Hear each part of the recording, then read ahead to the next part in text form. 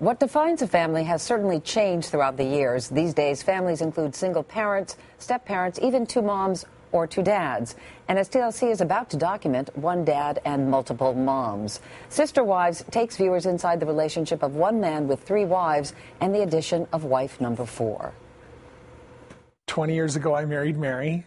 And then 17 years ago, I married Janelle. And then 16 years ago, I married Christine.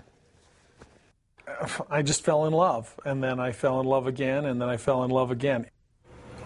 Kody Brown and his wives, Meri, Janelle, Christine, and Robyn, are with us now. Good morning to you all. Good morning. Good morning. I'm going to say at the onset that this is the kind of um, lifestyle that most people would not embrace and certainly don't understand. So let me start with you, Kody. You did not come from a plural family, as it is called. Your dad was not a polygamist. So what led you down this path? What made you choose polygamy?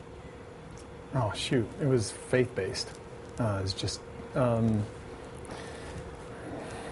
part of a faith belief, and I followed through with it, and um, this is kind of where it landed. But you started with Meri. She was the first woman that you yeah. married, and your dad was a polygamist, Meri, or is, or is a polygamist, yes. so you understood this lifestyle. Yes. And this is technically the only legal marriage that you have, correct, in the that state of correct. Utah? Yes. Uh, the rest of the marriages are, are not considered legal at all. No, they're not.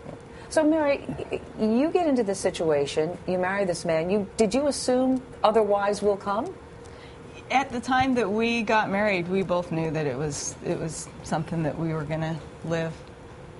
This was a lifestyle that we were adopting.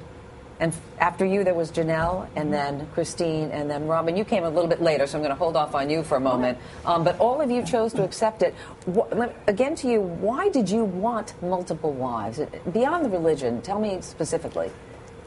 You had Meri, obviously, you were happy. You know, I mean, I, you know, and I know you're asking Kody, but it, it is a, it's faith. It's a faith decision.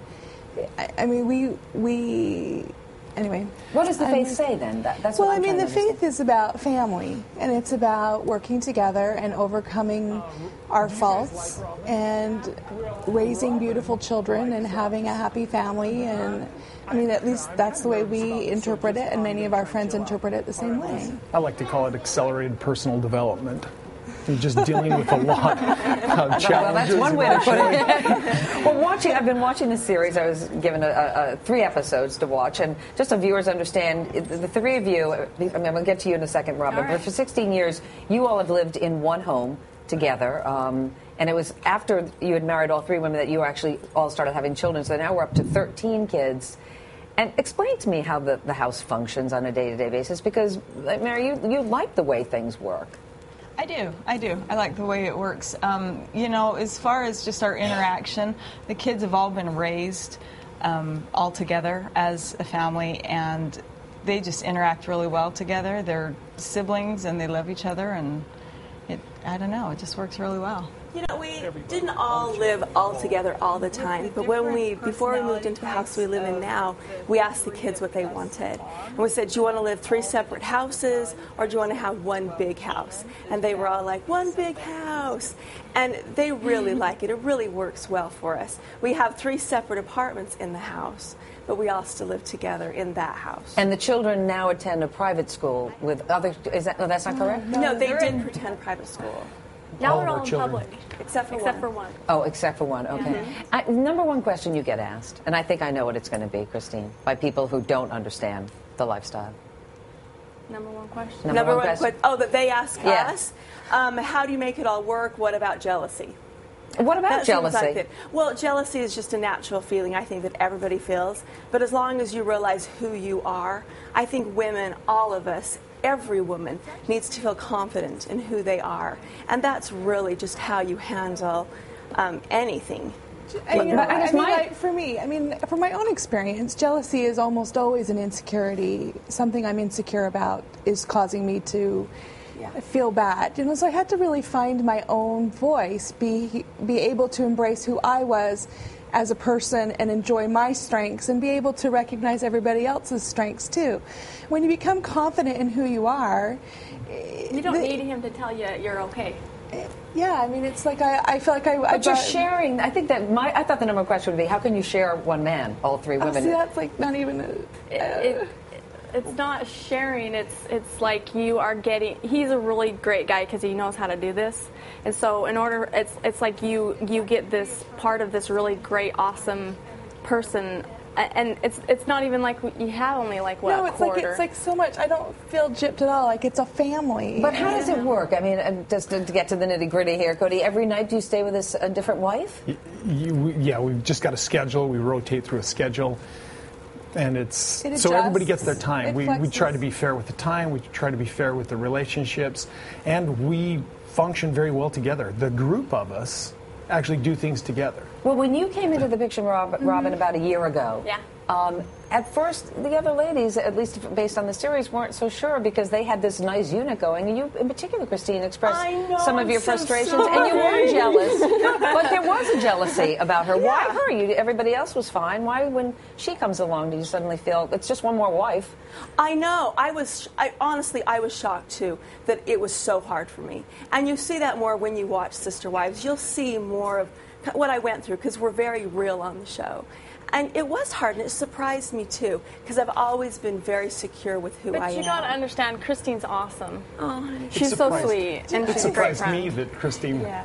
Well, struggled. I think it just re it just sort of reshuffles everything. Yeah. I mean, Kody says fruit basket fruit basket upset. Well, because it just sort of changes it just changes things. So it's like you got to sort of discover yourself again or rediscover yourself. Yeah. Yeah. Find out thing, where the strengths are again. The thing is, when you have, you know, like Christine was married last, and that was 16 years right. ago, and so it's taken, you know, a lot of the 16 years to be able to grow together and become so comfortable with each other. And then, yeah, when it when something else is thrown into the mix, it is just going to shuffle things what, up. What about your kids? Janelle, one of your daughters in the series says right out, this is not for me. You get the impression when she's ready to make yeah. decisions, she does not want to be in a plural family. you know, and I, I, I encourage that in my children because I had to make a choice. I, I didn't grow up in the faith. I chose the faith as an adult. And I want my children to have that same choice. And I think we all sort of talk about that with our children. I talk to my children about choice and consequence in a way that my parents never discussed with me.